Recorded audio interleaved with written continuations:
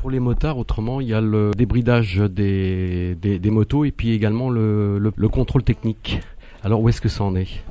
Euh, sur le contrôle technique, euh, il est actuellement en cours de mise en place par euh, le ministère des Transports, en lien étroit avec la, délégation à la sécurité à la circulation routière.